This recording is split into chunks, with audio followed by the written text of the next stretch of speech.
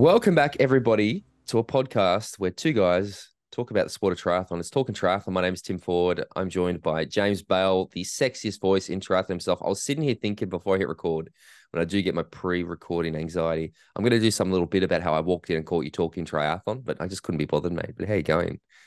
Yeah, I'm I'm often talking triathlon to myself on my own before you join me. Yeah, I'm not too bad. It's been a it's been a week rich in podcasts, hasn't it? You know, ah. we've done the bonus. We've also it's not that we've recorded lots, but you and I have been fucking talking a lot About triathlon. about triathlon, haven't we? With you know, with everything that's happened transpired in the last sort of uh, week, really, after we'd recorded the normal episode last week. Um, it's been a there's been a lot of talking triathlon this week, both with you and with many, many, many other people in the sport. I have done so much talking triathlon this week. It's been ridiculous. Uh, we're obviously talking about the. Uh, I think the big thing that came up this week was the Sam Laidlow post on Instagram that has since been deleted. That uh, we are going to talk about later. Um, we're probably not going to go into again. I don't think it's something. It's a tricky one, James. It's a tricky one to comment on. Uh, It is I a think- tricky one, eh? we we gave some thoughts on our bonus episode, which we recorded a couple of days ago, where uh, I think we were probably as we as we tend to do with this show, we were a bit more uh, candid uh, on the bonus. We're as show. candid as we could be within Correct. the the, mi- the the sort of litigation minefield that might be that topic. Yes, it, it is a it is a tricky one, but we are going to talk about that this week. We also have uh, a duo of guests this week on the show. We have got Max Stapley and Kate Waugh. Kate recently won Super League Triathlon, uh, and Max is also her not just a boyfriend, but also a, a very high level professional triathlete himself. You might have heard him on a few episodes of Triathlon Mockery. He gets pretty real, mate. He's uh, he's definitely got some opinions on Maxi, uh, which was again quite you know quite good. Uh, so we'll get that to that too. But uh, before we get to the little chit chat, uh, this podcast is obviously talking triathlon. Uh, if you enjoy the show, you want to hear what we actually think about what's been going on lately, you can head to patreon.com forward slash talking triathlon. You sign up for $5 a month, get a bonus monthly podcast. Uh, we have a WhatsApp group, a Facebook group, all that good stuff. Um, yeah, the, the, the episode, again, I was saying to you, I've said it to a few people actually. I'm getting to the point where I get quite nervous putting out the bonus episodes. Like I'm, I'm sitting there, I've uploaded and I go, should I put this out? should I release Yeah. this? And I, I always think that's probably that's probably a good place to be because it means we're making content that I guess is real. It's not just um going through the motions. but- Yes. Yeah, the nerves sit, don't they? I'm yet to have my first DM from somebody who's angry that I've said something on the bonus episode, but it is a because I get them plenty of times about the regular episode.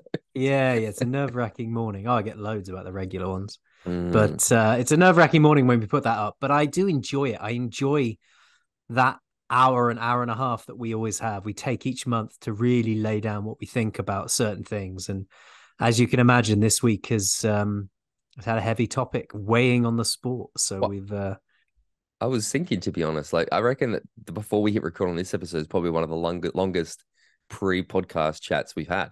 Maybe that's what we need to get in the habit has, of. yeah. Is just I, I should just start the recording as soon as the, the Zoom call starts, and then we just chop out the bit before I say, "Hey guys, welcome to Talking Triathlon," and then I edit that together every month, and that becomes the bonus show because that is probably the most honest. we could probably we could save all this faff if we just recorded every phone conversation we have in the week and stitch that together. We We'd have to do some serious editing. Yeah, I know. But look, let's let's get into it because this is obviously a a very delicate topic to to be covering, and I know that probably people expect extreme reaction or extreme response or uh, I don't know, like a defined uh, position. I'm not sure, but. Uh, again, for people being, I I am a lawyer, and we both work professionally in the sport of triathlon. So, I think the the first thing to say is uh, everything we have heard everything that has been reported at this point is alleged. Uh, I do also understand that they all believe in the presumption of innocence. So I think it's important to say all of that stuff. So everything is just what we're going to try to do is report on what has been reported. Now, Yeah. Report on what is in the public sphere and then give our opinions on some of those things that have come out into the, into the public sphere and whether we think they are well judged or not. Yeah. Not what we're not going to do is put our weight behind one element of truth or another. exactly, we have no evidence, and I think that that's important. Uh, and I think there's probably also a lot of, I mean, looking at the situation right now, I think there's a bit of confusion, at least in how things are going, because I mean, straight away, I think that this has all come down to a leaked email, and I think a lot of weight has been given to that email. Where I think that that's probably not the catalyst that people think it is. I think that it is probably just simply a a part of the part of it, not not it. But uh, you have got a bit of a timeline for us, I believe, Jimbo.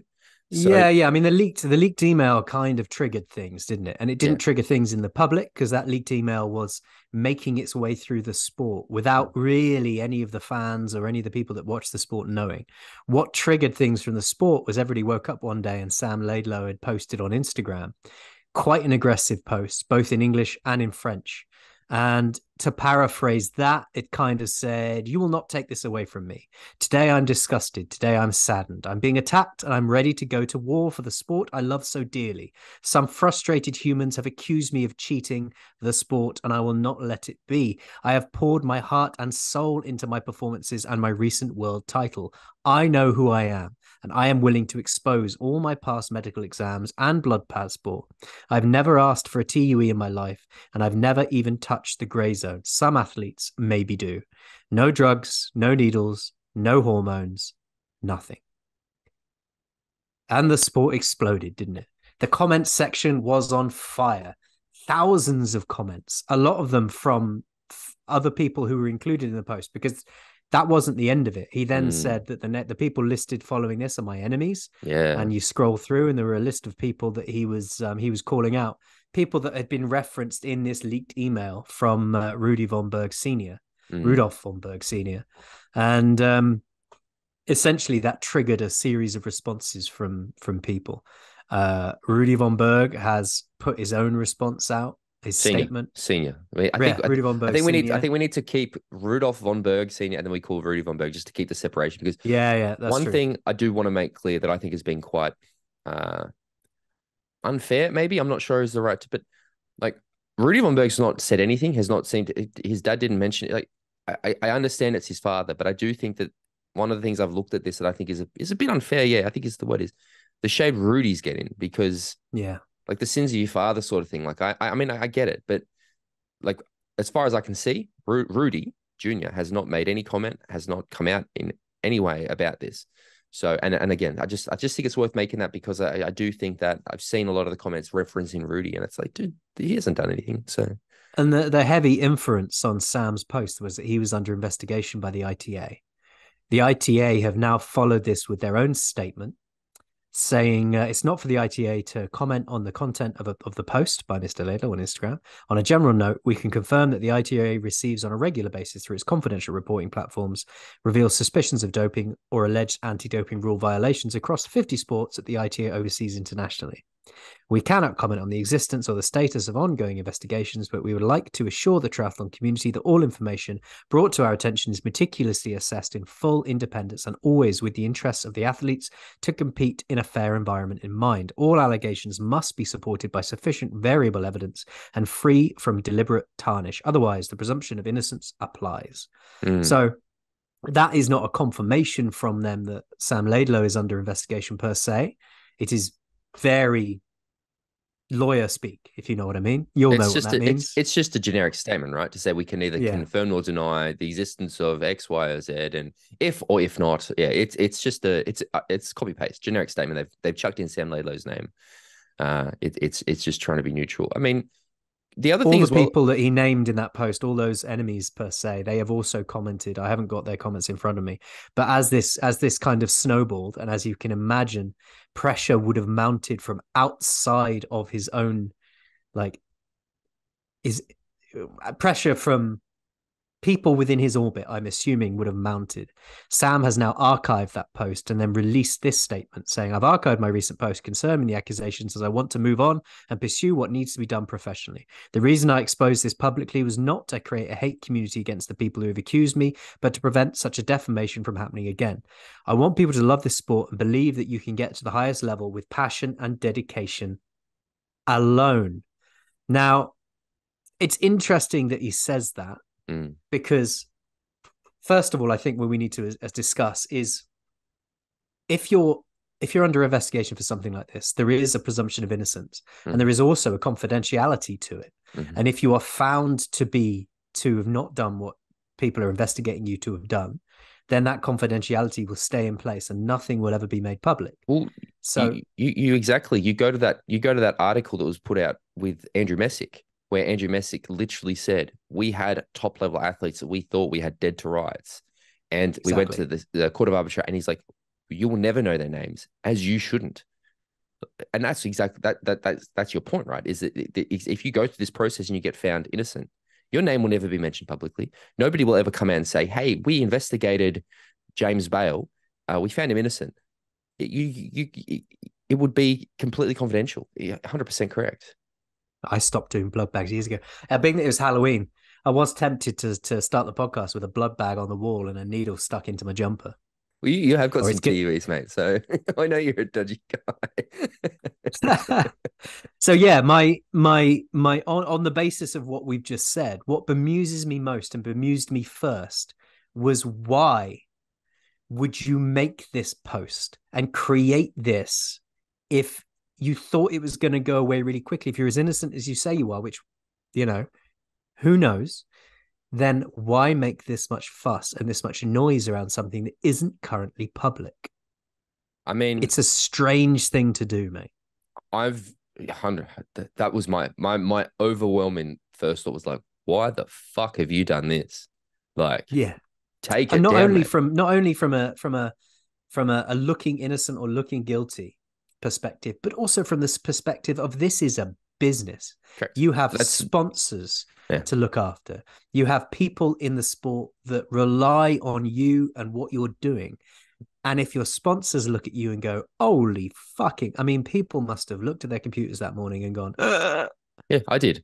and I'm not a Yeah. sponsor, but I looked at it, I was like, oh fuck. Like I woke up to it because again, it, it went up in the middle of the night for me. And I woke up, my phone was on fire. And I was like, again, same thing. I was just like, dude, like, what are you because he's he you know what? Again, that innocent, guilty, I don't know. Um you like this is now a public sort of association, I suppose. Like if if once there's sort of is like, okay, for the the lay, the muggle, the, the non-obsessed triathlon fan who didn't know this was a thing, they are now going to shit. Okay, Sam Laidlow's under investigation for doping. Like that that that is a that is a line between the two things that I think will. It's sort of there now, and it didn't have to be. That's that's the thing about this that I just I sit down, I just go, I don't understand why. And, look, the other thing we need to accept is Sam is a young man. Like, you know, we're talking about a young man who has suddenly had a lot of attention thrown over onto him over the last 12 months. I know that he has a team around him, and I know this team is excellent. He has excellent people around him. And that's also why I'm just so confused by it all, where I just I just can't I honestly cannot in my head make sense of this as a as a um no path. another another follow up to that and a follow up to his his um uh, assertion that he he hadn't put the post up to create hate amongst the people that uh, that he listed there was I want to I want to reference a, my favorite comment favorite the comment that I think is most relevant that I saw on his post which was uh, I I'm Lewis Donovan on Instagram put this on uh, on Sam's post. It said, Sam, if you're in support of the ITA and the anti-doping process, why would you post such a post such a volatile public call to arms to get your fans to hate on these people instead of letting the facts speak for themselves? Most of them have only responded to the ITA's questions by saying what they have heard. Publicly shaming athletes for speaking to anti-doping authorities and having audits on rumors is exactly the issue and slows down Queen's clean sport. Mm. Exactly. This is he's acting in the way that Lance Armstrong used to act back in the bad old days, where it was attack, attack, attack, attack, attack. I'm clean. I've never I've never failed a test. Attack, attack. And what that does is it slows down clean sport. It makes mm. people question and hate on those people that are questioning things. Lance Armstrong used to call people out in press conferences, call journalists out in press conferences publicly who were questioning things. And people would get, you know, ostracized from the sport for it. I mean, we've we've copped our fair bit of, of hate because we've said stuff about popular athletes that their fans haven't liked. And it ain't fun. Like, you know, we joke about it, but there's been times where, you know, there's been a bit of heat on on and it's it's not a good time. And you're you're exactly right. Like it whether he intended to or not, that post has made. I mean, you've seen it. The, the, the comments about Clement, the comments about Rudy, the comments about Marjolaine. They've not been like, "Well done, guys. Thanks for speaking up." It's been like, No. "You're just jealous. It's because your performances aren't good enough." Like it, that has that is a very real consequence of this, and that is exactly right. Is that if you're an athlete who is not even talking about Sam now, you let's say you're a you're a, a, a pro athlete, you've seen something, you want to say something, you've seen this happen, you're thinking, "Fucking, hell, I don't want that heat." And apparently, you And know, a, question for you as well. I mean, you'll Mm-hmm. know more about this than I do when it comes to the the law. Um, often in in normal life, if you're under investigation for something, if some if something is going through a process, you're not really allowed to talk about it because it prejudices things. mm, You know, I would have assumed before this that an athlete under investigation for something like this was probably not allowed to say anything. I don't know if that's true or not, but I would ask you, what do you think? I would assume that this isn't like this is probably a lot like this is a lot less uh burdensome than a like a legal process. I would assume this is this is still very much an well, obviously a formal process if it is happening. It is not a uh, you know there's not a discovery or burn of evidence or anything like that at this No. point. I think I It's think not going to end up with a gag order on him like President Trump's got at the moment. Then it look, it, it- I could see this. You know, I mean, so I don't know how legal I want to get here. There's levels, right? So normally things will start at an investigation, and then if there's a finding, there might be charges. Then there's an appeals process, and then it, so there's there's steps. And I think we're still very early on. But Hmm. again, like if you've been accused of murder. The, the, the victim coming out making a public statement saying these people that have you know witnessed and stuff it- that, that could be that could go you, your lawyer would advise you not to do that sort of thing yeah, Um, because not only, I mean, like using Trump as an example, he's naming people, he's naming and shaming judges and people who are opposed to him, and that whips up his little clan into a into a furor and puts them in danger. Yeah. Now, I'm not saying that that's what Sam Laidlow's done, but I'm just saying I'd have thought it would be sensible not to uh, not to be prejudicing things in such a way publicly. Yeah. But- now back back to the back to the Instagram, which again has been taken down because I only discovered this yesterday, and I, I have to give uh, GTN credit for this. They've done a, a video that I think was quite good about this as well. Was uh, on the slides that he put up, there was the ones in English and there was some in French, and I had made the assumption that the ones in French were just the English ones in French. Uh, it turns Yeah, out so that- did I. Yeah, it, yeah. it turns out that, that in fact was not the case because the other thing that Sam makes specific reference of is the Senate Center in Girona. And the fact that a lot of the con- controversy is because he goes to this Senate in Girona, even though he doesn't live in Girona. And uh, the Senate Center became popular, or not popular is the wrong word, uh, a topic of discussion in the sport because that is where uh, Colin Chartier went. And after Colin Chartier got pinged, it's sort of like by association, is this place dodgy? The, the other thing, again, like, I mean, I find it bizarre, not bizarre, like that he's openly said, like, why give up that information voluntarily? Again, because suddenly you're going to have all these people. I mean, maybe it's good PR for them. I don't think it is, but a, a lot of people had probably never heard of the Senate Center, and suddenly that's also like, if I was yeah, the, I mean, if I if, was if the, you uh, didn't already yeah. have the gateway by association, he does now. Yeah, that's what I mean. Like if if if the statements alone were just like these guys have said I'm doing something wrong. By the way, uh, other people are also saying that the reason they think I'm dirty is because I go to the same sports facility, health center, doctor as a convicted do Like again, I don't understand why. Just keep it to yourself. Like I, that's the biggest thing here. I just I just don't understand the the the the uh giving up of so much information voluntarily and and uh yeah, mate. And but anyway, it doesn't end there because Rudolf von Sr. has since come out and responded to Sam's because Sam was quite vicious, I suppose, about uh again whether he intended to or not about what Rudolph has said about the uh, the emails. Um, what did Rudolph have to say? He's. I won't read it all. I'll. I'll, Yeah. I'll pick elements of it because it's, a- it's a It's big a- one. Sam Laidlow, I am not slandering you. You are slandering me and my family by deliberately and maliciously choosing to convey the meaning of my private email, which was never meant to be public. A private communication between me and another party is a private business, not yours to do with what you like. My private email and was forwarded by mistake to a third person who shared it with you. It wasn't even addressed to you in private. I can say what I want to whom I want about anyone I want. Thus, I have not attacked nor accused you of anything and don't plan to threaten or and insult you shamefully as you did to others. Um, basically, a load of stuff about um, private emails and lashing out. Um, And uh, there's a lot that could be said about your contempt for the old school people, basically all triathletes and coaches over 40, and the huge majority of professional triathletes. Since at Worlds Nice, you had 50 watts more than them who seemed to be frustrated. Athletes with no respect and ethos, thanks on their behalf. A lot also could be said about the Senate Center and a kid that was malnourished and overtrained from 13 to 18 and became the best in the world at 2023. I'm not going to dwell any more on your spiteful message because having a son in the sport, I wouldn't want him to be hurt in any way by ricochet. Triathlon does not need your disdain and hate. Mm. It was a long message. There's a lot more in the middle of it than that. And uh, this was publicly uh, this was publicly shared, so I'm not sharing anything private. Um, yeah, I mean, like you say, the idea that this investigation, if there is an investigation, was triggered solely by Rudolph's email. I don't believe it. You don't believe it. Um, and also, it's there's a lot of muck throwing going on now. Mm. You know, this this this kind of back and forward isn't necessary. I don't think. I don't think it helps things. I I will again. I, maybe I'm going out on a bit of a limb here. I need to be careful with my words now,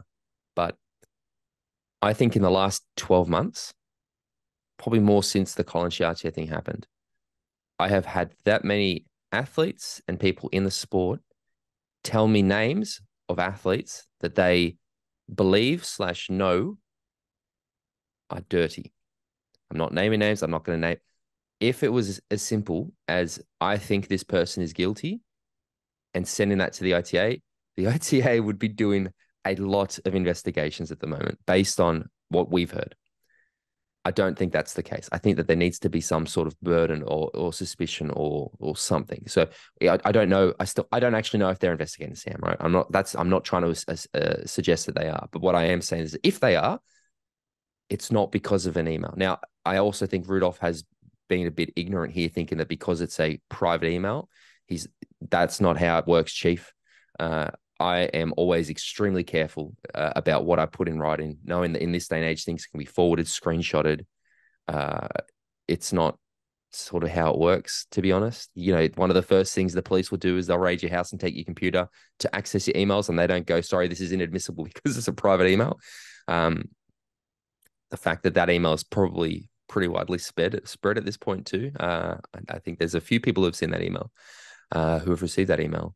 Um, is sort of proof of that. And we know that once things are on the internet, they're there forever. Uh, yeah, it's it's a messy situation, and I do not see good things come in as a result of this. No, I think um, I think we're going to see something happen fairly quickly. Whether mm. it's a resolution to whatever the res, it's going to be a resolution, mm. whatever that resolution is. We're going to see it happen fairly quickly. Um, that's just a feeling I have. So we'll we'll see how that goes. I will try to say something positive now because one of the concerns we've had on this podcast specifically is that the Colin thing happened and there was outrage and then it went whoosh, quiet. And it's sort of we've heard the rumblings. There's been fucking guys. I cannot have. There's been so many rumblings this year behind. I, I have. It's it's it's constant. It is very good to see this is and again, I'm I'm not trying to say that it's good that it is about Sam, but it is good that it is still being discussed because as, as uncomfortable it is, is as as negative as it must be for Sam at this point in time, I do like that the sport isn't turning a blind eye and just going no. Like that, you can, it seems to me like the sport is trying to forge a pathway forward that is like no, we are not going to be seen as a dirty sport, and and it does still dis, dis, disappoint me when you see the comments which are just like, come on, anybody who doesn't believe there's doping is ignorant. Like I, I am bothered by that response. So to see what looks like an effort from the the sport to try to you know forge a pathway forward that is clean is is a positive for me and and I, I would just say that the people who have these strong emotional if you're if you're a, a fan of Sam a fan of Clement a fan of Marjolaine there's no point in adding hate or fire this is a mm. this is if if like we as we sort of said right. In order for the sport that we all love to remain clean, when when there are actual things happening, it is not the place of us to get like fuck you. How dare you do this? I understand you can feel that way, but like we need to always let the process unfold, I suppose. And and again, there's a process for a reason.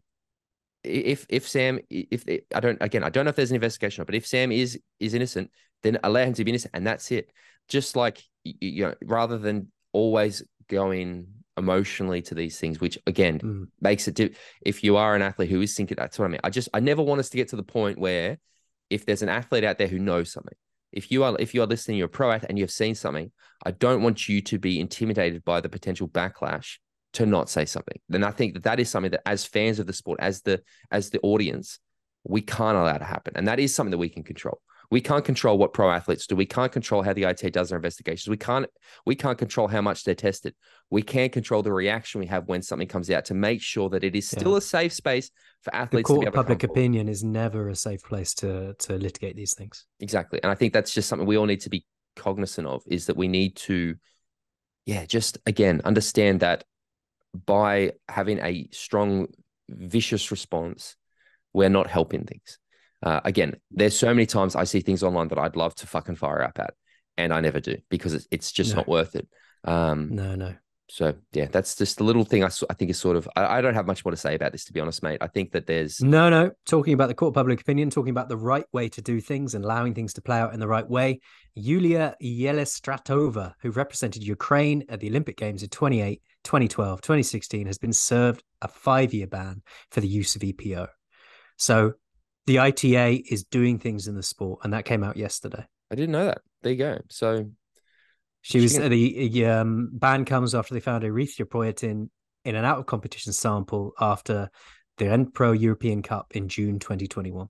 Well, see, now I will say something. You can fuck off forever out of the sport. I'm happy to say yeah. that after after that process has happened. I'm that's that that like that's something I'm happy to comment on. Right, that's that's it, the time where you say go fuck yourself. Yeah, fuck off forever. Stay out, never come back. Um, and uh, and competed in three Olympic games, presumably dirty. Yeah, and again, no good. If if anybody ever, I will say the same thing about anybody else. Who, like again, there's no place for me. No fucking comeback. If you get pinged, never come back. Stay away forever. Uh, I'm quite happy to say that on the record. But look, let's let's switch gears. Let's move gears because we have a guest this week, and we're already nearly 30 minutes in, Jimbo. Yes. Uh, guests, guests. correct. Uh, we have got uh, Max Stapley and Kate Waugh. So I'll drop that interview in with them and we'll be back afterwards. Okay, guys, I am joined by the uh, a new triathlon power couple. Uh, it is Max Stapley and Kate Waugh. I've pronounced that correctly. I hope, Kate. Is that it's Kate Waugh? Yes, correct. Thank you both for joining us. Now, Kate is the newly crowned Super League Triathlon Series champion for 2023. And I know that Max played a pivotal role in uh, getting you across the line. Isn't that right, Max? No comment. Thank you both for joining us. Uh, again, we are we are here to talk all about triathlon, and I think you guys have had a pretty interesting last few months with races, grand finals. Uh, as I said, series champions winning. Uh, Toulouse, Kate, Max getting a, a, five second penalty for jumping the gun in Neom the other day. How are you both? Uh, yeah, thank you for having us. Uh, yeah, it's um, it's been a turbulent year, but it's definitely kind of ended on a bit of a high for me. So yeah, I'm really pleased with the progress I've made this year. Uh, yeah. Yeah, I mean, same for me, up and down. Uh, had a really good period in the middle of the year. Uh, a bit more complicated in the last couple of weeks. I've just come off the back of a lung infection that I just found out was a lung infection. So uh, antibiotics for a week, which hasn't been hasn't been the best, but that's just the sport, isn't it? It's uh, it's hard to be uh, hard to be up all the time, and uh, that's why we love it, I guess. Just uh, constant excitement. Now, our listeners will be familiar with you both because I think on a previous episode I was talking about the night out we had after the Malibu uh, Super League race, where I may or may not have bought the table like 25 shots of tequila or something. But I want to start by talking about the Toulouse race Super League for you both because if we talk about a uh, a an extreme variation in uh, experience, I think that would have to be it with Kate. You win in the women's race, and Max uh, what happened to your bike in that race, mate? Because I've seen the photos. Uh, it's uh, split three way. So uh, I was uh, I was I was actually having a pretty good day to be fair. Like I was contesting for a top eight against probably one of the most stacked fields that Super League had ever assembled, and I 100% my fault. I was chasing a, a, group of three in front of me. I had Seth Rider, Sanchez, Hauser, and that's about it on my wheel. Uh, went through a corner in one of the technical sections and just was a bit too fast coming in, too much exit speed, put it in the barrier over the bars. and four guys ramming into my bike, which resulted in uh, me being bikeless for a few days. But uh, yeah, no, that's the game. I mean, highest of highs, lowest of lows. Like I, I can still take positives away from my performance before that crash, but uh, yeah, it's tight margins. I think some there was something like seven crashes in our men's race. Yeah, just because I, do, I just think it's just so tight and everyone's just willing to literally crash or you know not lose a position and and, and crash. So uh, yeah, it is what it is. And then for you, Kate, winning winning your first your first Super League win, I believe that was it because you, you podiumed in you podiumed in London, and then you won in Toulouse. Is that right? Or f- is that right? I was fifth, I was fifth in London. Oh, that's close. Okay, I, there were so many sharks on the front of that race. I I got you all confused. so you, you obviously then had your first win in Toulouse. What was that like? Yeah, yeah, it was really special. Uh, Toulouse is definitely one of my favorite races. So it's like a packed course. Uh, my parents were there as well, so yeah, I I went into it thinking I could probably podium if things went well, and then kind of within the first uh, lap of the first round of the bike, I had a pretty big gap, and yeah, um, managed to kind of maintain it from there. So yeah, it was a really good day. It was a really good day until obviously I watched Max, and then kind of uh, my heart sank a bit when I did see him coming around the corner, uh, and I didn't know what kind of state he would be in when he got up off the floor. So um, pretty scary moment actually. So thank you for bringing me back down to earth very quickly. Uh, there is there is a story I'd love to because uh, on um uh, Max was on Triathlon Mockery a few weeks ago and he was telling the story about how when you were uh, running your way to the podium in Pontevedra, he actually got accosted by security and almost arrested. How how aware how aware were you of this? And when you found out what had happened, what was your was it like? How dare they do this to my boyfriend? Or fucking hell, stop embarrassing me. Like, what are you doing? What was your reaction to this? I, I honestly wasn't even shocked by it. I was like, that's just the most max thing to happen. I have these situations that just tend to kind of happen to me despite my best my best in like despite my best me trying my best to not have these things happen, but they just seem to happen. So I guess that's just uh, that's just me. Like wherever I go, this seems to just be something happen. But I remember you were telling us all at the same time what had happened, and everyone was like, "Oh wow, what that happened?" And I was just like, like yeah, I'm not, I'm not even. I don't think I, I, I, just, I don't at the start. I don't think she believed me. She's like, yeah, yeah, of course you got arrested. And then like Pro Tri News did that post. Was like wanted Max Stapley crash tackled by five security guards, and that like literally it was ridiculous, man. Like, there's no way that reaction was was was warranted. Like, but of course, obviously, it was me, so nearly got bloody locked up by the Guardia Civil for going and celebrating your girlfriend. But whatever, it is what it is. It was a like, like I sort of touched on it. It has been a a year for you, Kate. I mean, you know, we look at the the under twenty three World Championship. You know, you've you've had the you know the, the second place in the grand final, Super League series win, uh, Super League overall championship win. What's the what's your experience like? You know, we all you know success is fantastic and some of the little athletes strive, but you're you're living at the moment. You're in that point in your career when you're starting to actually see the success come. What's that been like? What what is uh, I'm so fascinated by like obviously the performance is great and you know going fast is fantastic but like what's it being you going through this we'll call it a transition at the moment like what's it like what are you, what are you noticing differences like i'm just i'm fascinated by by how your mind is changing as a result of this? Yeah, I mean, I think it's definitely been like a little bit overwhelming. Uh, like obviously, I kind of always thought I could kind of reach the top of the sport if I worked hard, blah blah blah. Um, but yeah, and then I got the second in Pontevedra, and I don't think I slept for like three weeks afterwards. Like I, I was like, I was just, I just had so much kind of nervous energy. I had like kind of a lot more like people kind of messaging me every day and I was getting kind of a bit overwhelmed with like suddenly uh being I don't know being noticed and recognized like not obviously like not in the street or anything I, mean like um Come on, you're being shy. Surely you're walking down the street in dumpster saying bodyguard for about three excuse me, excuse me. I just felt like I worded that really bad. I felt like I um, was looking at bloody posh Beckham, just like yeah.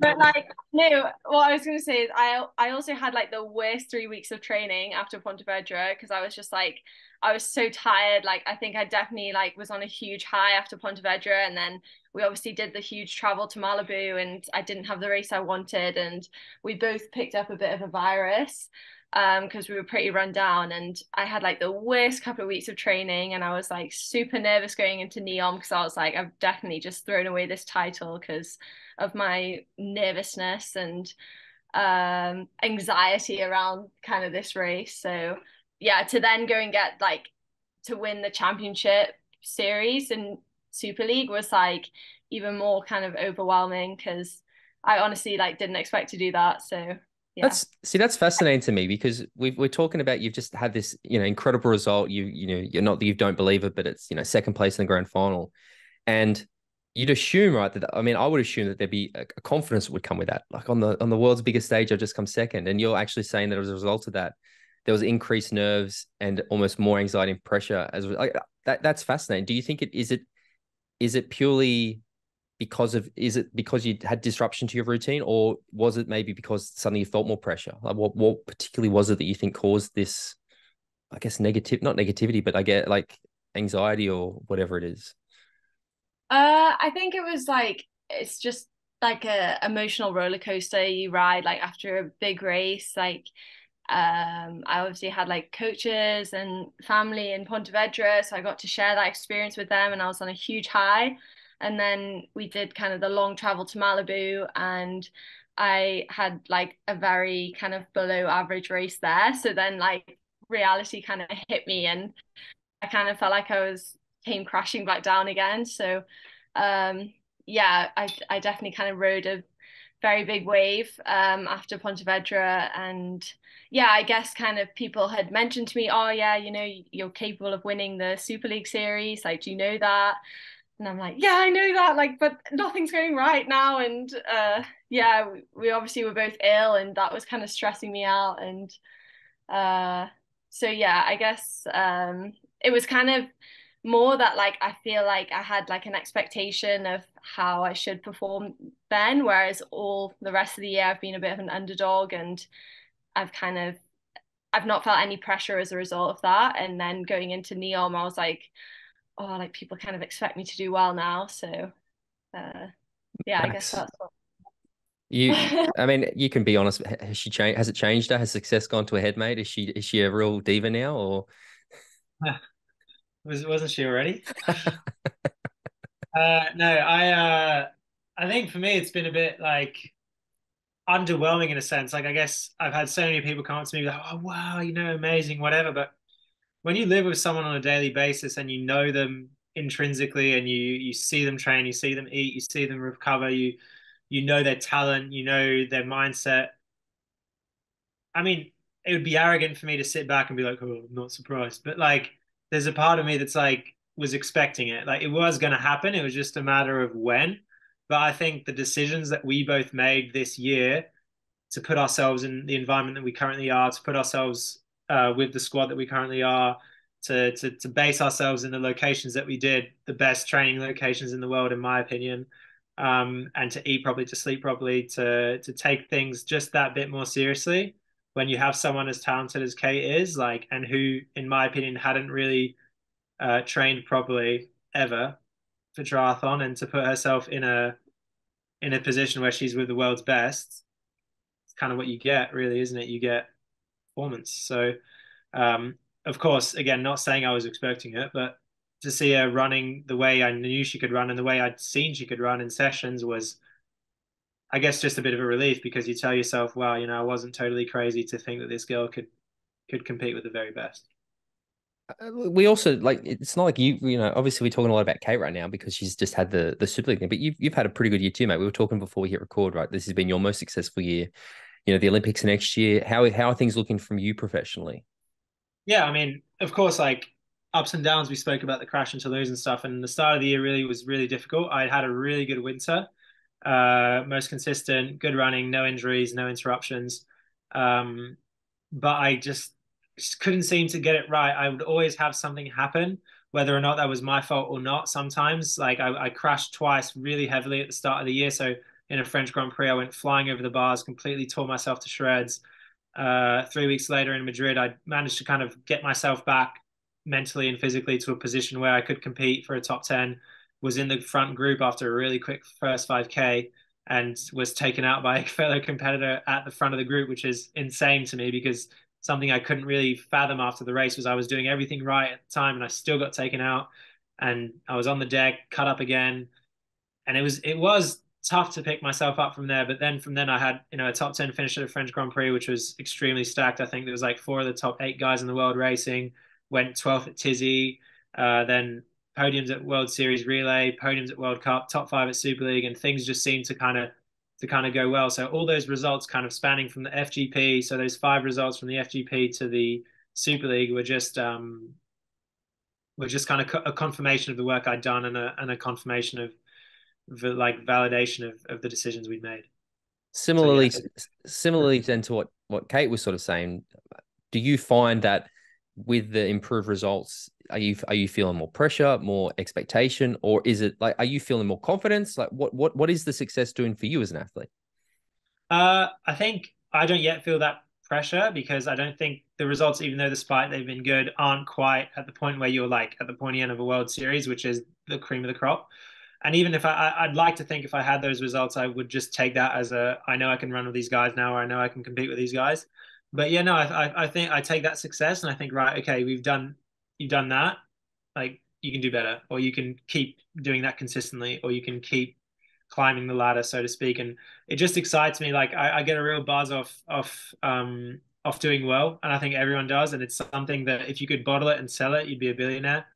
That kind of feeling of of crossing the line and having had a good race, and everything seems to be like it genuinely is. It genuinely is a state of pure euphoria that you for me, I've never found in anything like I've, you know, I've gone down descents like as fast as I can. I've surfed big waves. I've done all the stuff that kind of like other people do for a thrill, and like they're good thrills.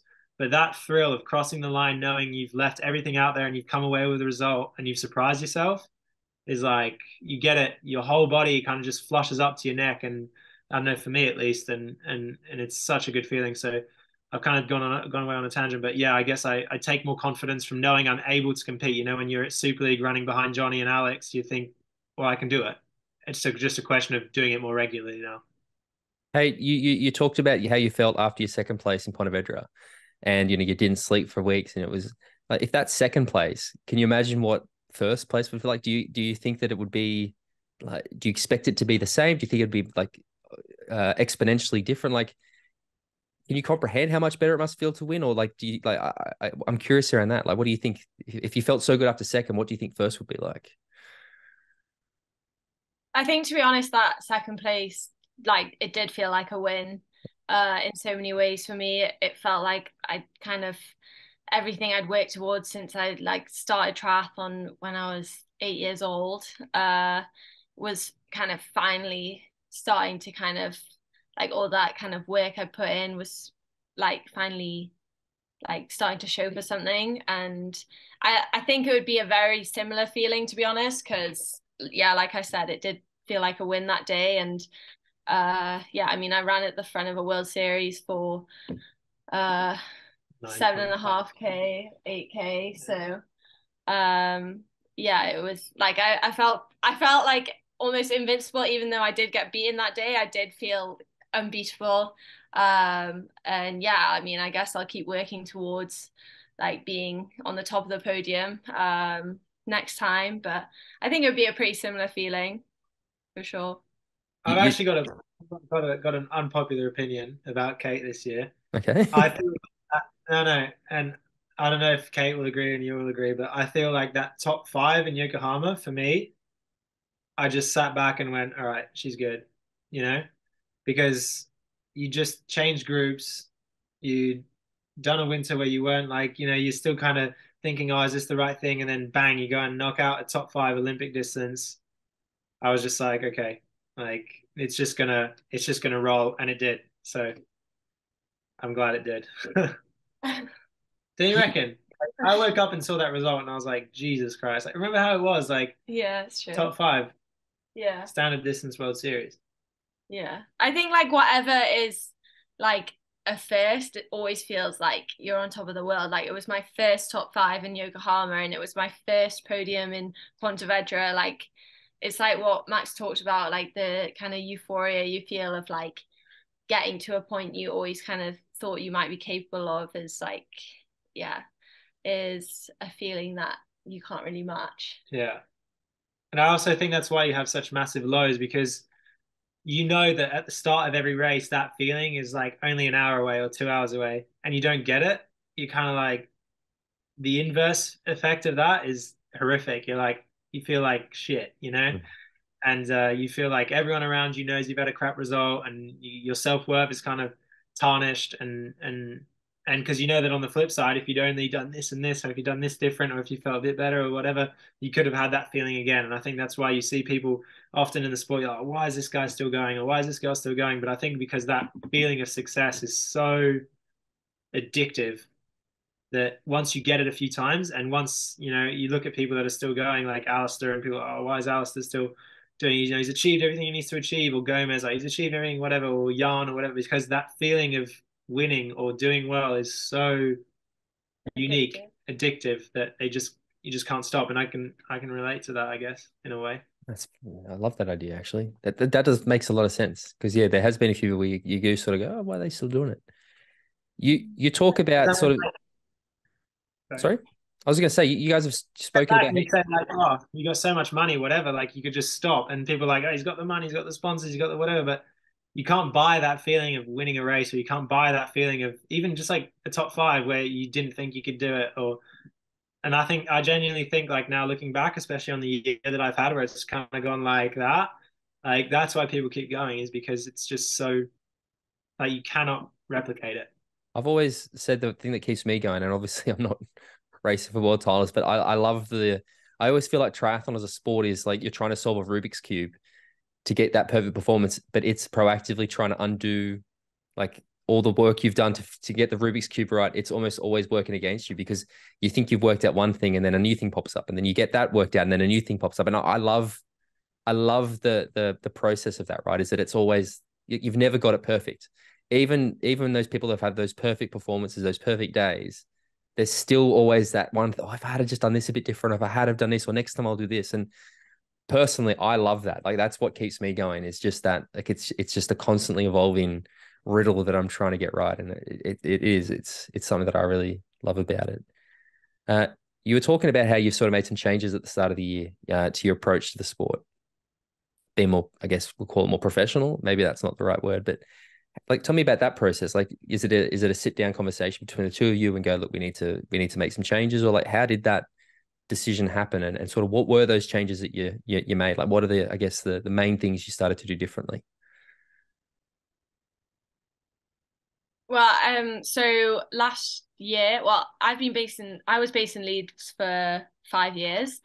Uh, i was studying there and i was part of the leeds kind of performance center there uh, and kind of for the last 18 months that I was there, I started to feel like I was in a bit of a rut. Like I just wasn't really enjoying training. I wasn't really enjoying kind of like anything about triathlon anymore. Um, and obviously I had like a, a couple good results, but like it wasn't really do, like doing anything for me because I think I just like I wasn't too happy in like everyday life. And then um, Max and I started dating back in 2021 and he... yeah, Brady looks of himself. By the way, he just sits back like, yeah, we did. you and, did do uh, that too. It's on video, so people are going to see that. yeah, well, it is what it is. Sorry, um, I interrupted you. He did look very smug then, though. and uh, he he did it. He as a as a guy who grew up in Australia, he moved to Leeds and did his first winter in Leeds, which um, I think I nearly saw him break down. No, thank you. several times. I literally I felt like I turned my boyfriend into a shell of a human after that winter. So um like honestly it was like difficult to watch. Um so yeah, I think we kind of got towards the end of the year and we were like, look, like we need to make some changes. Like for the sake of our kind of happiness and well-being like we just need to do something different and then um, we got offered a we basically got offered a place in this yeah. in the squad of um, Paulo Souza Dr. Paulo Souza he would like me to say um, so yeah and then we we kind of upped and moved within two weeks. Like we got offered the place in the squad, and then it was like, okay, I packed up my flat in Leeds. We got ourselves on a plane to uh, Monte Gordo in Portugal, and uh, yeah, and then we we were all in with the squad from from there. So that was like the biggest change we made this year, and uh, yeah, seems to have paid off so far. I mean, yeah. I can. I, I, my wife's Norwegian, and I did two years in Norway, and I think, yeah, that first six months of winter, I just was like, I love you, but this is some bullshit. so, I, uh, yeah, mate, I, I feel you as a somebody who grew up in Australia. Yeah, I can imagine that the. I think there were a lot of things that had changed, like from when I first got there to where it was 12 months later. Like, I think a lot of people had left. Obviously, Alistair and Jonny are training in a different squad. Uh, you never really get to train with them, you know, X, Y, Z. And it's kind of like I got to the point where I was going to be the lead athlete at 23 in a performance center. I just thought to myself, like, that's not the position I want to be in. Like, I don't want to be the one leading because I still need to be led type type of thing because I'm not I'm not that experienced. I don't have that many results. I don't have that much. Despite the fact I am older and have more results than other people here, I don't I, that's not the position I want to be in. I want someone to tell me like, this is what you need to do to progress. This is how we're going to do it, and this is where we're going. And I think that's what I got from Paulo, and I think that's what Kate got from Paulo as well. And um, and yeah, I think I just got to a point like even in terms of the weather, like I'm not from there. I, have never really lived. I lived a year and a half in the UK, and I kind of just it was one day like preparing for Worlds in Abu Dhabi. It was like we're on this ride on this like 90 minute loop we do every freaking Monday, and um it was must have been like October 25th or something, two weeks out from the race. And all the Germans were in like Mauritius or I don't know where they were training, Lanzarote. Uh, the French were in Abu Dhabi, and I was just seeing on Instagram, and I was like, I was riding in minus two and snow, and I got off my bike and I threw it in a field, and I was like, "F this," you know, like this is just not worth it. Like this is just ridiculous. Like, yeah. So I got sixth at World Champs, so it was a pretty good result, and uh, and yeah, like Kate said, we got the offer, and and I just I didn't really see any tangible benefit of freezing my balls off again. So I just thought, okay. But that was that was always something I really struggled with in Leeds, and I don't please don't hate on me anyone who's listening to this, but I just I didn't I didn't get it. I didn't get why people made themselves suffer in the cold all winter. Like it's it's not necessary to be a successful athlete. Like you don't have to freeze your balls off yeah, yeah, yeah. for a whole winter. Like it's it's like you get ill, so you miss training because of illness. You're more prone to injuries. Like I, I could crashing I every every two weeks, and I could never get my head around it. I, and um... I think that's why over the years of being in Leeds, I just like more and more was like, what am I doing?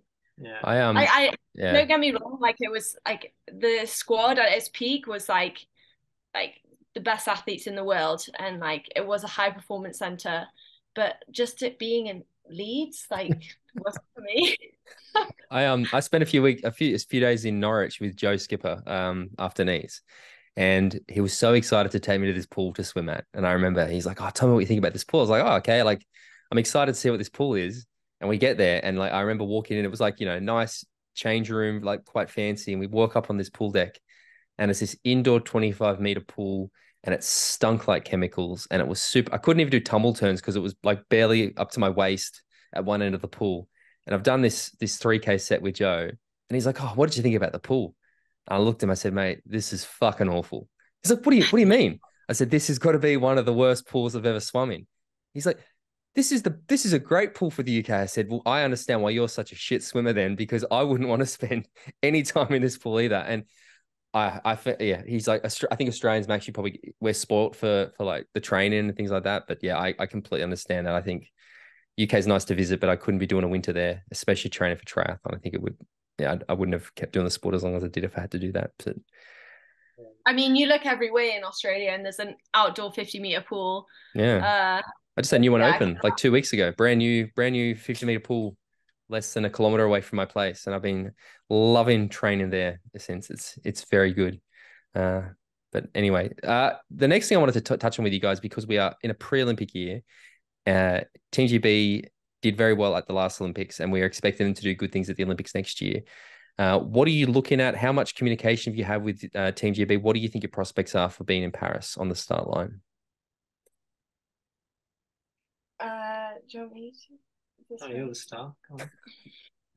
Uh, well, I guess I didn't hit the automatic criteria that British Triathlon had set out. So um, at the moment, like it's kind of there's a few of us gunning for the last two places. Obviously, Beth Potter hit the automatic criteria by winning both Paris and Pontevedra, so she's secured her spot on the team. Um, and then, yeah, it's kind of just like up to discretionary selection, and I think they'll probably uh, choose their final athletes, like not choose them until like uh, the final hour um, of the Olympic selection window. So When's that? uh, May. I think it's May, end of May. And the race is July, June, August.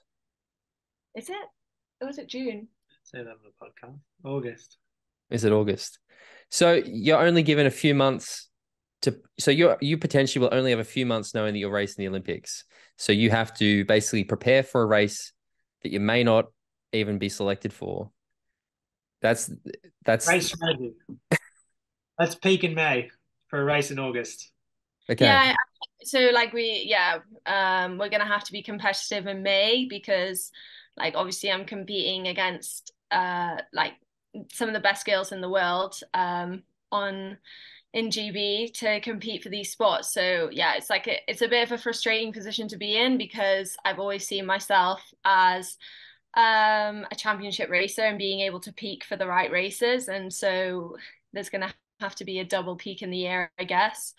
Uh so yeah, I mean it's frustrating but at the end of the day I didn't hit the automatic criteria and that's the position we're all in. Um, with with the with the discretionary spots though like again i'm i'm just curious like i know i don't mean to criticize but like are they do they give you any indication are they say you might not have met the automatics but they sort of have informal uh, criteria or is it just like you have no idea what's going on in there and you won't find out until they make a decision like how much communication do you guys get from them about that Uh, yeah, I mean, we've had quite a bit of a communication. You can find like all the selection policies like online. It's all kind of there for anyone to read. But um, Brit Tri specifically look at your Olympic distance races. Um, so I'm definitely in a difficult position because obviously Sophie Coldwell won Yokohama this year, which was an Olympic distance. Georgia Taylor Brown won Cagliari Olympic distance this year, and she's also the reigning Olympic silver medalist. And then I obviously came second at the grand final. So um, yeah, the the competition's fierce. Um, and yeah, I mean, it's gonna be it's gonna be hard, and there's definitely gonna be in the women's side. There's gonna be definitely some heartbreak. So uh, yeah, I guess I'm gonna have to just do everything I can to be competitive in May to like put my name in the hat during the last discretionary selections and uh, basically cross my fingers from there because then it's out of my control. how about for you max Uh, I mean, for us in the men, it's a bit different. We'll only have two spots at this stage, and I I'd be very surprised if we manage to get a third, simply because of the mass of everyone else racing, and we have to be in the top thirty and uh, etc. I mean, I'm not fully across the mass. All I know is it's very difficult, and the results required to get in the top thirty from Barclay, who's currently or Barclay, who's currently third, or Jonny, who's currently third, is going to be like a very tall order. Uh, so assuming we've only got two, Alex has already got one because he's hit the criteria being a previous medalist and medaling in Paris. Uh, that final spot is completely open in terms of discretion. And uh, for me, realistically, it, it's just going to come through showing my relay ability, whether or not I'm able to be a good third third relay or first relay, depending on how what order they want. And uh, honestly, I just I think being able to assist Alex to win gold because we've seen him win in the test event, and uh, and I was already I already did that in Pontevedra. I sacrificed my race to to help Alex. Um, so whether or not that's a path they choose to go down, that would be I would potentially be open to doing that. Um, and also, I mean, at the same time, simultaneously working on my relay ability to be able to ensure as good of a performance as anybody else can deliver on that leg. So Um, that is my way to the games, despite obviously, again, as Kate said, in the women's, there being stiff opposition in the men's with Jonny Brownlee, an absolute legend. I mean, no question about it. Um, and Barclay Izzard, who's had a good year as well. So um, let's see how things evolve. But for me, it seems like a bit of a long shot, but that doesn't mean it isn't a shot. So we'll try our best. I mean, you, you talk a little bit, I guess you're talking about that domestique sort of role. I was talking to Hayden about this a couple of weeks ago, actually. Like, is that a, are these conversations being had? Are they talking? Like, is it is that something they discuss with you, or is it is this you very much like? Let's look at Pontevedra where you drop back to sort of assist Alex. Is that you just doing it off this, off, you know, of your own initiative, or are, are they sort of being like, oh, if, if Alex is struggling, maybe drop? Like, I, I don't know. Is is that a conversation that's been had with British Triathlon? Uh, I thought that that was a conversation that was going to be had the day before. I was expecting it, like because obviously Alex was in the running for the title. The maths looked in his favor, um, and and it just kind of made sense. Like I wasn't expecting to be in Pontevedra. I I hadn't hit the criteria for it, and I hit it. I hadn't had the ranking for it, and I did. And I was just kind of there, like, oh, okay, lol, like I'm here. uh, and the night before the race, I twisted my ankle so I was like icing my ankle in the briefing, and I was just like, oh, this is ridiculous. And I just fully expected someone to just say, look, mate, you know, like obviously you're pretty compromised. Um, if you want to lend a helping hand, that would be greatly appreciated, obviously, because we knew there was going to be the French Armada at the front, uh, which there was in the end, uh, mm-hmm. and potentially Hayden uh, somewhere in the mix. Um, but no, that conversation never came.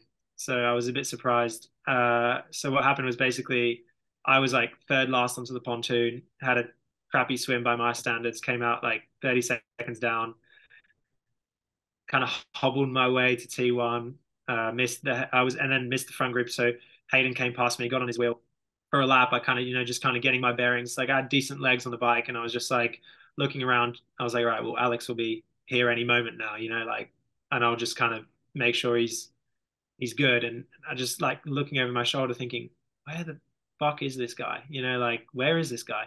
And I kind of yelled yelled at like a point on the course where we went up a highway, uh, and uh, to one of the staff members saying like, where is he? And they were like, he's 30 seconds down off your group, and we were already in the chase group. And I was like, damn, like, and I just yelled back at him like, I'm just gonna wait. And they were like, yeah, yeah, yeah, wait. And I was like, all right, a bit late now, you know. so I that's mean? the conversation. yeah, that was the conversation. Mid race at 45k an hour. Um, Perfect. So hit the anchors, freewheeled for what felt like an eternity, and eventually his small group kind of caught up, and I just absolutely murdered myself for seven laps. I think I pushed something like the highest power I'd ever pushed over an hour was like 385 normalized. Spent like 17 minutes above 455 watts, but we lost so much flipping time, mate. Jesus. So, uh, yeah, it was a grim day. It was grim from a personal level because of the like I didn't race for myself and was kind of injured in the process, and it was grim from a collective point of view because absolutely no one got the result they were after. Like Jonny didn't get the result he wanted, Barclay didn't get the result we wanted, and especially Alex was miles off the result he wanted. So yeah, it was a bit of a depressing day in the male contingent for sure. Now, I know you're both in the thick of short course racing, so I'm going to, I don't expect you necessarily to verbalize everything, but we've seen a lot of development in professional racing happening at the moment in middle and long course racing. We've got the PTO uh, announced their series in conjunction with World Triathlon next year. We've seen the Ironman Pro Series that takes up 70.3 and iron distance racing.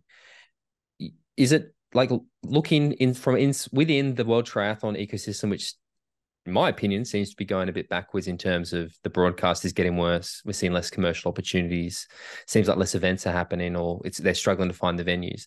Is it is it sort of hard to be on the outside of this all this happening or seeing all this happening? I guess over the other side of the fence, and like going, yeah, the grass maybe is a bit green over it at the moment. Like, what what for you guys as short course athletes looking at what's happening in middle and long course? Like, what's it like to see that and not really be part of it?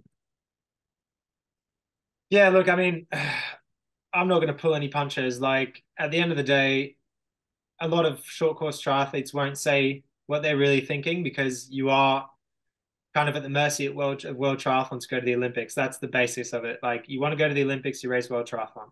You want to make money, you go to Super League, you go to PTO, you go French Grand Prix, whatever. it is depressing. Like I've spent my whole life looking at World Series thinking, wow, you know, like I remember growing up, Ryan Bailie, Aaron Royle, Brownlee, Brownlee Gomez, all those guys thinking like one day, one day. And I finally did it this year. I got to Sunderland, I got to Pontevedra, and you sit back and think, is this it? Yeah. Is this really it? You know, and it is it. You know, and you just think, I'm I'm I'm killing myself 28, 30 hours a week to race on a pay-per-view broadcast like, who do we think we are? The UFC? Like, who's going to pay for that? Mm. the terrible shaky camera, com- shaky camera, blurry, you know, coverage. It's horrific. Then the prize money hasn't evolved since 2009, I think. And they'll mm-hmm. say, oh, yeah, but we spread it, spread it further down the field. If you look at inflation, right? 20, it's 18,500 to win. It was 20,000 to win in 2013. I've done the maths. 20,000 to win in 2013 is the equivalent of $26,000 today.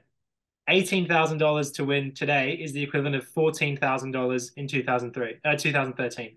Therefore, you are under earning $14,000 $14, for a win. That's the state of the economics of World Triathlon. So they can say, oh, yeah, we're doing this for the athletes, blah, blah, blah, athlete led. And I know there's people that work very hard. There's like Courtney from the media team, people at federations inside the federations that are really passionate about their jobs and i'm not taking a shit on everyone here.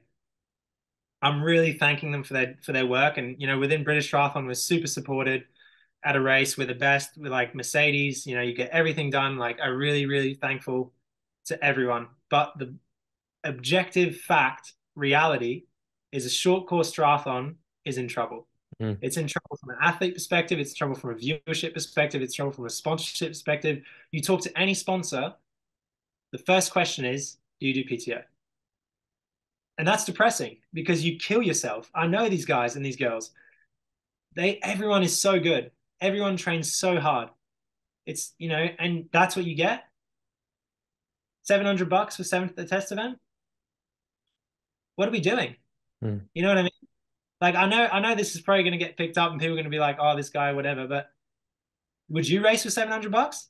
Would you kill yourself twenty eight hours a week for seven hundred bucks? Would you pay for your own travel, for your own this, for your own that, for seven hundred bucks? And that's assuming you get seven. if you get if you get sixteen, if you get out, mate. Hmm. So I know I'm probably going to get cancelled for saying that, but like I can tell you for a fact, anyone that's awake thinks that, and I don't care anymore. I mean, I get. I've been quite vocal about. I guess the exact same things you're talking about. Is that it's very frustrating for me, where well, I think is probably the highest standard of the sport. There's so many restrictions around what you guys can and can't do, and it is all based around this idea of the Olympics. Like it's almost used against you, and I and I and I just I, I can't. Again, I'm probably going to get. I just can't understand how this is seen as sustainable when it's all it does really is create this reliance on the federations, and we've had so many reports in recent times of the federation's doing the wrong thing by their athletes. And it's just it again, as an agent, I work professionally in the sport and I just see it and go, I can't understand. I still think there's so much opportunity in short course if we just separate the governing body from the actual race organizing body and, and go, you know what, let's let's open this up to commercial opportunity rather than go, no, you need to race for your country and you need to wear the national team kit that the sponsors provided by the federation. And you can only have two spots on the sponsor on the kit that's worth nothing. Like it has no value for sponsors. Like it, it's, yeah. I could I could also rant. I didn't mean to start ranting, but um, yeah. I, I'm I'm I feel you, mate. I think that this is a frustration that anybody who's listening who is involved uh, professionally, either as an athlete or works in the sport, will be feeling uh, your frustrations as well. It's uh, it's it's tough. I mean, the other thing as well, and again, I don't want to talk specifics just because of things that have been happening lately, but I do ask everybody who comes on the show you guys are professionals. You, you, you know, you spend time with your peers. You guys talk. You know, I, I hear rumors all the time as well. But it's been a rough year for triathlon. There's been a series of negative uh, things that have come up. We've had the Collin Chartier doping incident. We've had deaths in Hamburg. Uh, you know, we've we've had personally. I think the sport's not in the best position at the moment. I think it's been quite a rough period. But as professional athletes racing, uh, you know, with your peers and stuff, what is the feeling? What is the mood in the sport at the moment with you guys? Like how how when you guys are sitting around after a race and having a you know a non-alcoholic beer, what's the what's the, what's the mood like? Like, are you guys optimistic or you know what what's the feeling? Uh, You want the real? You want the real answer? Yeah, come on. Look, I don't care. Like at the end of the day, I'll say it as it is. I think we're racing a lot more people than we think are dirty. If that makes sense. I think if you look at some people's progressions, if you look at some people's body types, some people's just their demeanor, uh, the way they race, their, their their kind of career progression, it does not make sense. And I think the fact that the ITA, I've spoke about it on Mockery, we're at the we're in Pontevedra, uh, and you get a you know Collin, he's not the only one, man. You think he's the only one on EPO? Absolutely not. This guy like was nowhere near. He won US, you won the US Open, but he got dicked in Kona. You know, he, he was nowhere in other races, and that doesn't mean you can't be successful clean. We're both clean. Like I live with Kate, she lives with me. She's the only person I can say 100% is clean, and I think vice versa. But I think it's very, very naive to think that every other sport, we're comprised of the three biggest doping sports in the world swimming, filthy, cycling, filthy, running, filthy, and you put them together and we're clean. Give me a break. And also, during COVID, you saw people change their weights and all this stuff to win amateur C grade Zwift races. We're racing for, you know, potentially, if you do well, a lot of money.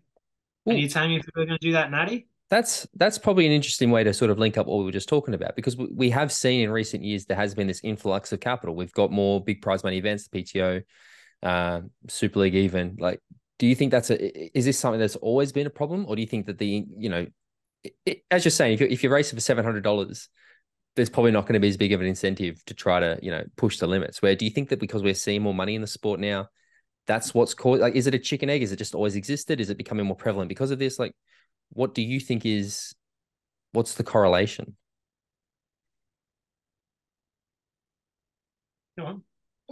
I'm giving Max all the hard questions. no, I mean, look, like, I, like, I feel like I take, I think men and women's triathlon is like kind of different. I think, I don't know, maybe I'm completely naive in saying this, but I think that the women's is a lot cleaner than the men's. Um, and I could be completely naive, but uh, I think I've kind of But sorry, up. just let me let me stop you there. Is it is it about being naive now, or is that something that you need to tell yourself in order to keep stay motivated to train and push? Because if you start going, I mean, what's it like? I mean, Max, you, you've just sort of said you think it's it's it's dirty, but for you, Kate, you say no, I choose to believe it isn't. Is that because if you suddenly start to accept or allow yourself to think that maybe it isn't, does that suddenly cause you issues around motivation to train, or does it make you start to go, well, what's the point of pushing? Like, do you almost need to and I'm not saying you don't think it, but is it almost you need to be optimistic about the state of sport in order to continue to to kill yourself for it? Like, is is that part of it? Yeah, I mean, yeah, I mean, I think you just uh said it really well there. Like, I if I genuinely believe that like everyone kind of at the top was uh not clean then yeah I I think I would struggle to kind of get out of bed every day in the hope of like becoming one of the world's best because it would almost feel impossible. Um but I feel like because I've had kind of glimpses of like what it's like to be at the top I know you can be at the top in short course. I've never obviously competed in middle distance or long course but um I know I know that you can get there clean and I kind of I'm pursuing at the end of the day I'm pursuing my own ambitions in the sport. And uh yeah I guess if I obsess over kind of everything that's going on around me at the moment I think I'd probably go a bit crazy. So uh yeah I'm probably brainwashing myself a bit into thinking that like the sport is clean because I guess it keeps me sane. But uh I guess yeah I think Max and I definitely differ on that subject. I I look to a certain extent i do it as well. Like if you if you're thinking about all the time you're not going to get out of bed you're going to be unmotivated to race. I guess to me it's kind of a different motivation. It's the fact that i'll show you i can do it clean. You know what i mean? And that's not saying like alex is clean Howes is clean all these guys that are at the top natty i'm 100% but i think it's just naive to think that everyone is. And that's that's a different conversation to me sitting here saying everyone's dirty. This is impossible to do natty. It is possible to do natty. But does that mean there's a few guys in the top 10, top 15, top 20 that aren't? That's a different conversation. And I think the more athletes start saying, look, like, that's not normal, right? The more positive the more of a positive impact it'll have on the sport. Because if you bury your head in the sand and just think, oh no, everything's rosy, everything's perfect, like what are you achieving? Like when when when someone has a, a progression that is unbelievable, when someone looks like the Incredible Hulk at the finish line, like veins popping out their shoulders, veins there that used to be skinny a few years ago. You know, if you don't say these things to the relevant authorities, then you're kind of failing your duty to everybody else that's clean. In my opinion, that's how I see it. And obviously, I don't I don't spend loads of time thinking about it. Although this year it's been hard to kind of shy away, and I think I was naive as well. When Collin popped, I was that was kind of like lights on, and then ever mm. since then, it's been I think it's been in every male athlete's mind and females. I'm not saying it hasn't, but I agree with Kate, and I think the females is a lot more clean and transparent. Not saying that everyone is, but I think in the men you see a lot more questionable performances. Look, I don't want to. I don't want to end on that that uh, low point. I, I, want to sort of take it up to a bit of a positive before we wrap things up. Kate, I, I said at the start, it's been a wild year for you. Um, you know, literally some incredible results. If you like look back on the year, have, have you? Is it is it? How do you feel about? It? Are you content? Do you wish there was more? Like, if you could have told yourself 12 months ago that this is where you'd be in October this year, like what do you think you would have believed it? Do you think you would have taken it? Like, how do you retro- retroactively look back over the last 12 months?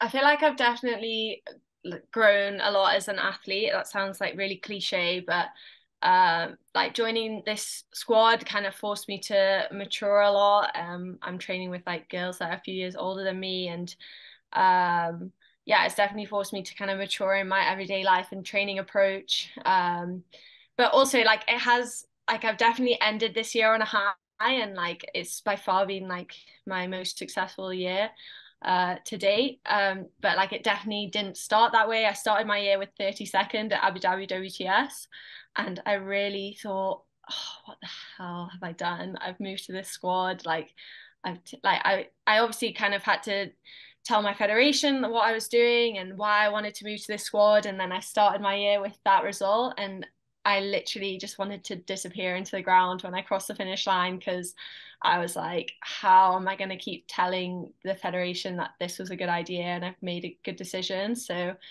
um, yeah, it's definitely been kind of a bit of a turbulent year in terms of that. But yeah, I definitely kind of got into the swing of things with the squad. And um, I think that's why it's taken me a while to kind of uh, get the ball rolling and stuff. And uh, like finally, like it's not until October that I'm really kind of shown like I guess what I'm capable of and what I've been showing in training just because it's taken a while to like get used to this new uh life we have um living abroad living out of a suitcase. But uh yeah I definitely look very fondly back at this year.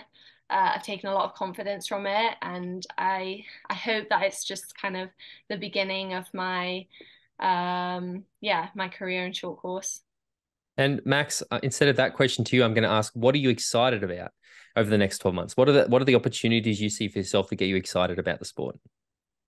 Uh, I'm excited about just every race I get to do. Really, like I I can do World Series now. I can, you know, I'm still a part of the Super League series. That's going to be amazing next year. We've had some info. I don't know if I'm allowed to share. Probably not at this moment. uh, we know it, but like, we, we better wait until they yeah. say it publicly. But sorry, guys, tune in for more. Uh, that is going to be super exciting, and I think that's going to really push short course in the right direction. Uh, and I'm just excited. Like we're in a hotel room in in Japan after spending a couple of days in Saudi and being in Girona like two weeks ago. So, uh, just waking up every morning and realizing we're extremely fortunate and we're extremely grateful to live this life and, and keep creating more opportunities for ourselves. I love it. Well, guys, look, thank you so much for joining us uh, on this week's show. Uh, we'll go, we'll go, Kate, then Max. Give us your social media where people can find you, and then we'll wrap it up. Uh, my Instagram is Kate underscore underscore Waugh. Yep. Max find me online, Instagram, Max underscore Stapley, and uh, that's it. I don't have X. I don't. I have Threads, but I don't use it. So whatever. Strava, Strava. Max Stapley, and uh, LinkedIn. Max there you LinkedIn. You're probably the only person that's come on and plugged their LinkedIn on the podcast. Looking up for some more fruitful financial opportunities on guys, Okay, thank you. I want to promote my LinkedIn now as well. I have LinkedIn There we, there we go. There we go, guys. If you want to look for, if you want to give either of them a professional job recommendation, you can find them on LinkedIn now and do it. Thank you both so much for joining us. It's uh, great to have you on, and good luck uh, for uh, the next twelve months. Thanks, Tim. Bye. See you in Thailand. See you in Thailand. Yeah. Welcome back, James Bale. Well, you- fuck me, mate. That was a good interview. And funnily enough, I did actually listen to it before we did released it this week. I listened to it in bed this morning while I was dozing away and waking up. And it was really, really good. I liked how candid they both were about certain things that are happening in the sport at the moment, topics that we've talked about, and things that we've discussed many times on this podcast about what it's like to be a fan of this sport, how you're treated as a fan of this sport, how you're treated as an athlete by federations. It was it was a really interesting um, journey. I enjoyed that. I really again. I, I know Max and Kate quite well now. I've spent a fair bit of time with them recently, and yeah, I I I think it shows that the frustrations we have are felt within the sport. This is not a two people sitting on the outside going like you know old man yelling at the clouds. You you can feel the frustrations, and and I and I think the point that Max made right is I I really do agree that short course triathlon is in trouble. Like I'm I am. I have switched focus from saying that I think the, the long distance is in trouble to this year. I think I think world triathlon is making itself irrelevant. Really, like I, I really do, and I think that they need to understand that the Olympics isn't the carrot that it used to be because they they have created an ecosystem which is unsustainable. Oh, And- totally. Uh, It's it's like it's like um it's moving into the realm that triathlon is. Triathlon, not triathlon. Fucking hell, Eh, we're in triathlon, aren't we? Uh, It's moving into the realm. we're that's, talking uh, triathlon. James. Come on, mate. Yeah, because cycling is is the Olympics in cycling isn't the carrot. The carrot is is the pro side of the sport where you make a huge amount of money, a huge amount of money, but you can mm. make a huge amount of money as a very competitive professional cyclist. The Olympics is a hell of a thing to get, a hell of a medal to have, but it isn't the be all and end all of a professional cyclist career. And that is the direction that if the PTO have their way and this new Ironman series have their way, that's the direction that triathlon is going to go. You're going to have people prioritizing the longevity of their financial careers over sacrificing that simply for a for a gold medal or a silver medal or even a a tenth place at the Olympics. Yeah, like on, honestly, I think that it is. Yeah, I just can't. The, the it is the the pay per view thing just baffles me. The broadcast is. We need to see Yeah, yeah. genuinely. If you're listening World Triathlon, I know you try, and I know you have the best interest of the sport at heart. You need to overhaul it. Get rid of the net. Get rid of the racing for your country. Bring in commercial support. Teams, man. I, I'd love. I Yeah, upgrade your broadcast for fuck's sake. Get some proper commentators on. it. or or just go back to be the governing body and find an organization who can actually put on the events for you. I know that they're losing venues. I'm not sure. I don't know where we're going to see WTCS races. It's left the UK. I've heard it's leaving Hamburg. Like there's there's uh I, I just it's it's if you cannot honestly understand that you are making yourselves irrelevant, you don't deserve to be the governing body for this this sport. Like things need to change. And look, Mm. they, they seem to show progress Yeah, because yeah. they've they've partnered with the PTO for the middle distance stuff. That's cool. Do something similar. Partner with Super League. Partner with Super League. Let Super League run your short course. That's that. There we go. That's the pathway forward. Yeah, maybe the broadcast element of it. Not no. That's what I mean. maybe maybe don't- not the logistics. I'm not saying make you fucking listen to our bonus episode if you want to know more about that. Um, I'm not saying necessarily make short course Super League, but like, I just, I mean, I, I can't. I want Look, to see. we we both we top both know that this sport needs at the moment they are clinging on to that and if like you say if no one within that organization has got the foresight or the ability to see that the olympics isn't going to be that carrot for much longer then they need they need to really reassess who they've got looking at their forward planning you know pay us enough money we'll come do it for you I mean, look, guys, I'll do it if I have to. I'll add it to my many list A, things I do. I'll save the sport. Yeah. What I'm here for. I get it. We cost we cost a lot, but we're worth it. Now, But- I think we've been we've been fairly negative throughout this. Yeah. Um, I, I want to add a little positive in at the end. Yeah. Okay. Okay.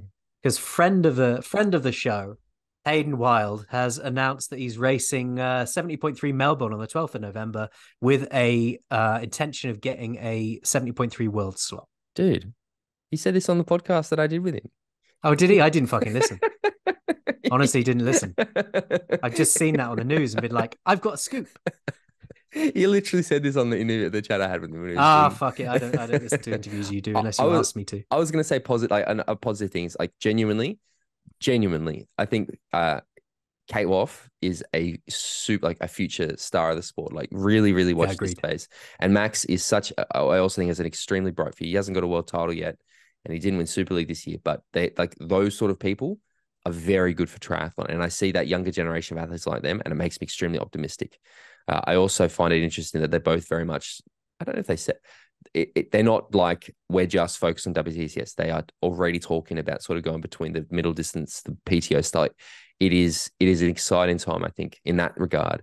So I think that the future is bright, mate, and uh, I, I would encourage you all to go on and start supporting those two athletes because I think they are they are a very very bright spark in the sport of triathlon at the moment. So agreed, and to and to buttress something I said on the bonus episode, I think the future is bright mm. because as opposed to what was happening in pro cycling back in the bad old days. The reaction of the sport as a whole has given me real faith in what we are part of because there hasn't just been a silent sort of roll of the eyes and a and a, and a shrug of the shoulders. There has been a sport wide condemnation of any rumblings we've heard. And like you say, there isn't a huge amount of support for the idea of dopers in triathlon mm. from anywhere I can see within the sport, and uh, and it's and it's visceral, and uh, and that is a good thing to see. Yeah, look again, we're wrapping up now, so uh, thank you guys for listening. But yeah, Patreon.com, our bonus episode we record on Tuesday, we we go through uh, behind the scenes at Malibu. Uh, we give some, I guess, more candid thoughts about uh, Ironman Women's World Championships in Nice. Uh, I guess more of the performances we thought were a bit shit and some of the things we probably couldn't say so vocally. And then we do talk a bit more candidly about the Sam Laidlow thing. Uh, the feedback's been really good, uh, I think, and we know that when we did the same thing about uh, Nice, we had a you know we had like forty sign ups. So if you guys do want to get a bit more, I guess the things were a bit like less nerve, more nerve, you know, the things we didn't say about what's happened this week. Uh, Patreon.com slash Talking Triathlon is where you can get it. Uh, literally, it's it's just all the money we make goes back in the show, so it helps us to do this podcast. Uh, you can also head to youtube.com. Uh, please subscribe to the YouTube channel. It's growing. We love it. Uh, it's it's. I think it's almost doubled since we changed the name. Audience has doubled since we changed the name. So rebranding was a good idea.